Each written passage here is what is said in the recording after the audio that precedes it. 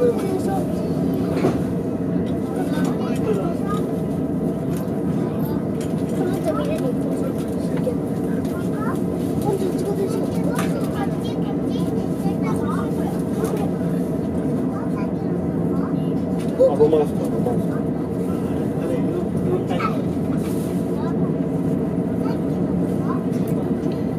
の電車は上野東京駅宇都宮線直通自動車線前5両は途中の小金井止まりですグリーン車。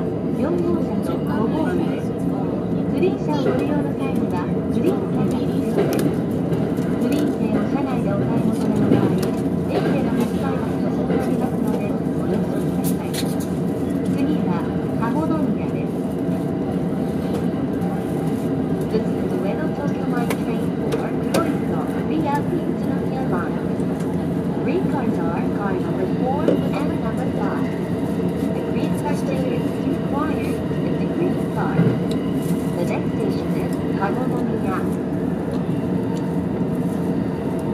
ご利用くださいましてありがとうございます。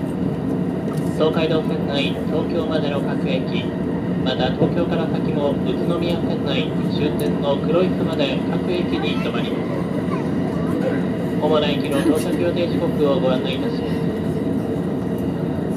途中の平塚には12時16分茅ヶ崎12時26分。藤沢12時33分。大船12時37分。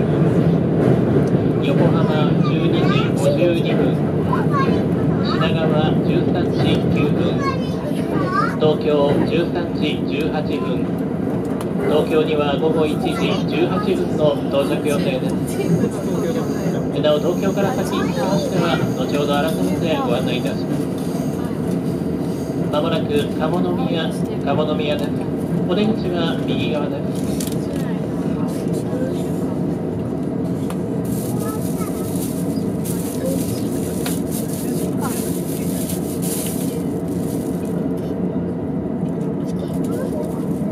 地下鉄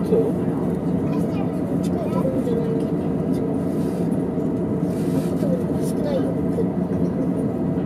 あ、少ないな。少ないな。少ない。あ、でも絶対少ない。なんでわかんのチャチいから